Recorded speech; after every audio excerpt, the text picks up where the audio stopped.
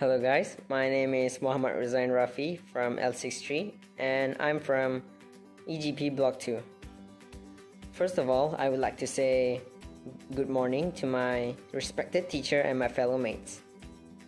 I want to give a speech on the importance of education. Education plays a very important role in everyone's life. It is very important to get proper education in the same way as the healthy body needs food to achieve success and happiness. It is very necessary to live a great and better life. I mean, it's a must for us.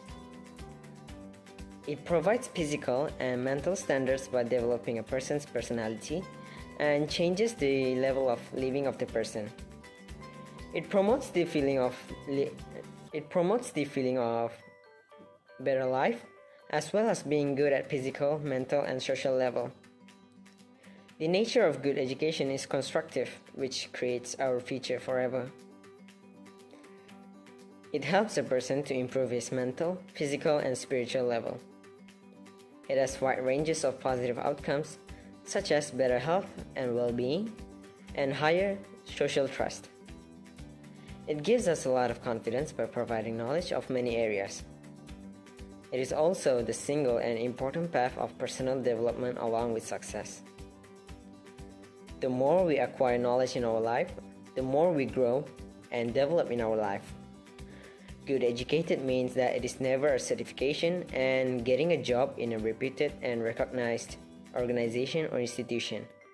Although it also means having a good and social person in life. It helps us to determine that what is right and wrong for us and for those related to us. The first objective of getting a good education is to become a good citizen and then to become a successful person in personal and professional life. We are incomplete without education because education makes us the right thinker and the right decision maker. In this competitive world, education has a major imperative after human food, clothing, and housing. Education is capable of providing solutions to all kinds of problems, such as it prevents corruption, terrorism, and it's a good practice about other social issues among us. In conclusion, Education is the most important tool for providing internal and external power for a person. Education is the fundamental right of all and capable of any desired change and upliftment of human brain and society.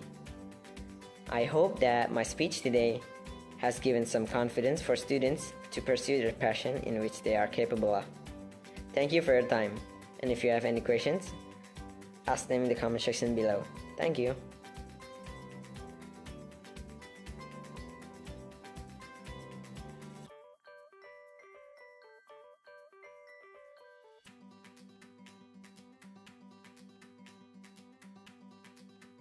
Today's video is sponsored by my Wi-Fi. Hello guys, my name is Farhan. Apa nih? Thank you for your time. Yes, I'm finished.